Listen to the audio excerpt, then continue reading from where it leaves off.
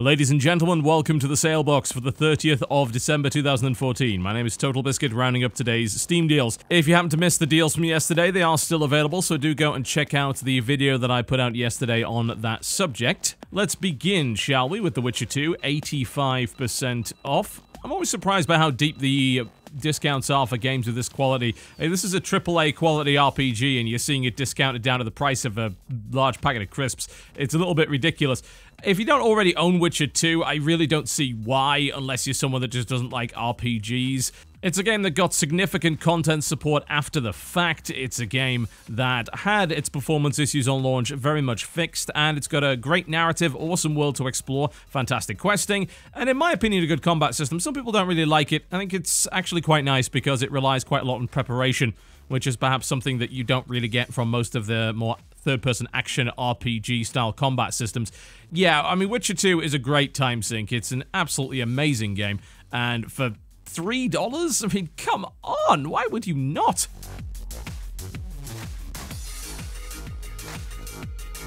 Wasteland 2, 50% off. I love Wasteland 2 because it's a reminder of days gone by and it's a well implemented CRPG in the classic style. It's got nice questing variety, it's got a cool overworld to explore, it's got a lot of very interesting weapons and equipment to find, which is always one of the most fun parts of post-apocalyptic games in my opinion, scavenging and seeing what you can come up with. I recall quite early on in the game getting a really awesome gun and realizing that I'm not going to be able to find ammunition for this damn thing anywhere. The character development skill system is very solid. What I really like is the dialogue system of the game, which actually allows you to type in words, which can unlock new dialogue options. So if you read what the person is actually saying and think, well, there's not a question on the list, then you can type in the word that would be associated with that question, and maybe there is a hidden dialogue option. That's a, just a very old school way of doing things. It's very reminiscent of the original Wasteland from the 80s.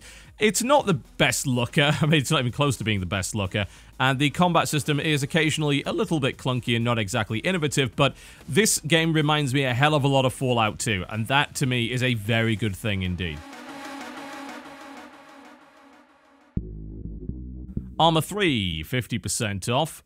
A demanding game, to say the least. Difficult to run on maximum detail. It's an extremely intensive game because it's simulating a very large world and a hell of a lot of stuff going on with it. It's actually gorgeous if you can crank it up, but few people actually can. It is a military simulator. It does now have a single player campaign, which is worth playing, but the meat of the game is in the multiplayer, and usually that will involve getting a group to play with who is tolerant of teaching you.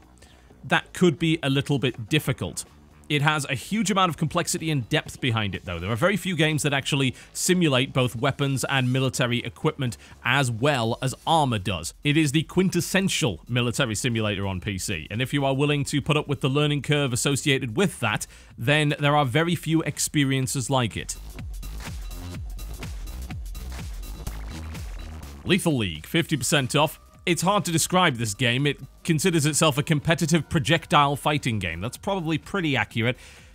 It's a very aggressive game of tennis, let me put it that way. So you have a ball, and when you hit the ball, it changes to your color, and if it makes contact with an enemy, they lose, they die instantly. But of course, they have ways of hitting the ball back to you, and the aim is to accelerate the ball to ludicrous speeds and attempt to use special moves and cancels in order to beat your opponent. It's a really intriguing spin on a fighting game. And despite the fact that I don't really like the visuals all that much, the game is ridiculous fun and supports up to four players simultaneously. It also has good online play, few issues here and there with the netcode, but for the most part it's very, very solid.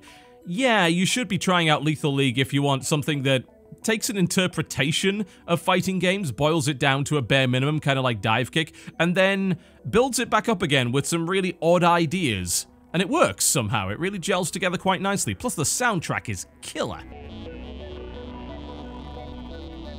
Lichdom Battlemage, 75% off. Ah, right. Okay, so that's at a price point where it's a bit easier to recommend. I didn't hate Lichdom Battlemage. I thought it had some really cool ideas. It was a good looking game. It allowed you to throw all sorts of interesting and wonderful spells.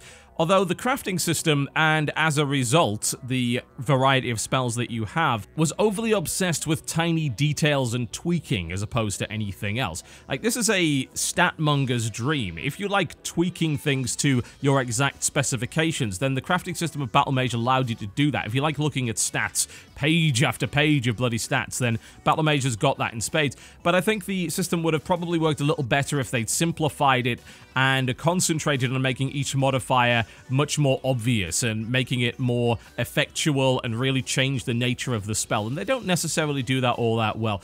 But if you can get past that, then Lichdom Battlemage is a pretty enjoyable first-person shooter that focuses on using magic to kill your opponents as opposed to actual weapons. It's certainly got its problems, it's a little bit linear, it's definitely no Skyrim, if people thought that it was. It might look a little bit like Skyrim, but no. I mean, the level of exploration simply is not there. It's not an open world, and some of the boss fights are questionable in terms of design, let's put it that way. But for that price, it's worth a bash. The Forest, 33% off. It's an early access game, you know exactly what I'm going to say. But the forest is looking very promising. Once this thing comes out, it might really be a very, very good survival game. It's getting there. It's really quite stunning in terms of its visuals, surprisingly so, and the AI is surprisingly good as well. It's one of the entries into this burgeoning genre of survival games that find themselves in early access that's looking like it might actually see the light of day and be good when it comes out. It's probably worth playing right now if you're into survival.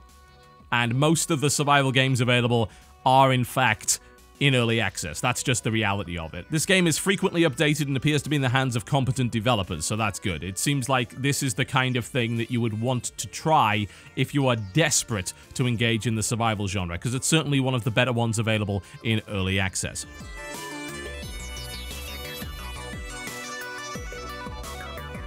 Child of Light, 60% off. Well, I attest to not really liking this game all that much. Yes, it's aesthetically impressive, but it has too many problems for me to really recommend it. It really seems like the sort of game that should be played with a parent and child. The entire dialogue of the game is done in rhymes, and if it was done particularly well, perhaps I wouldn't have as many problems with it, but it's not. It's really quite cringeworthy, and I found the writing to be obnoxious. The battle system is not too bad. It's a simplified JRPG, sort of active time battle system, which works reasonably well, but the game is critically lacking in character customization and depth in terms of its combat mechanics.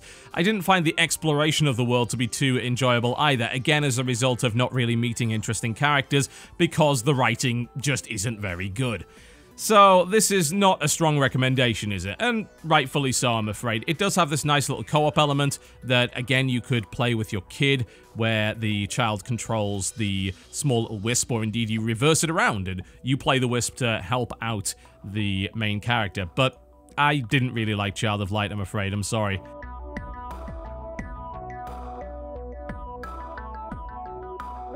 Final Fantasy VII, 50% off. I'm not going to go into my opinion on Final Fantasy VII. Come on. I mean, really, I didn't even finish the damn game. I played it very late, of course, because I never owned a PlayStation 1 back in the day. I owned a Saturn, so never played Final Fantasy VII when it was relevant.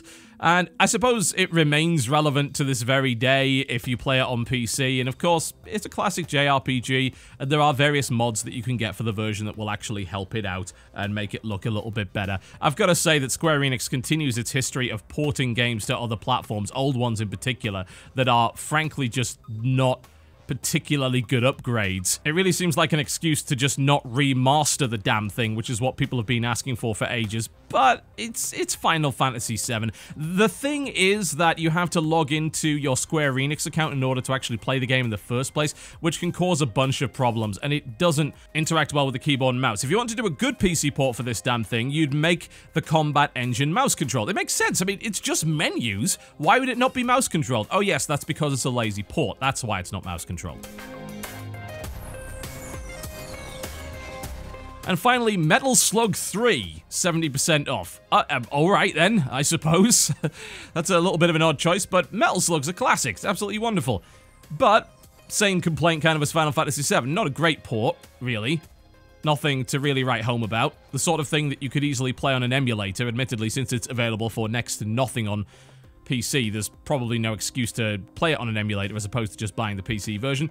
It's fine. The problem I've got with it is that the online system is not perfect. It's got a lot of disconnection problems. So if you want to play co-op with somebody, then you might run into issues from time to time. It is by no means impeccable. Outside of that, Metal Slug is a classic side-scroller with a timeless art style that I enjoy very much. Alright folks, that is me done for the day. Thank you very much for watching the Sale Box, and I will see you next time.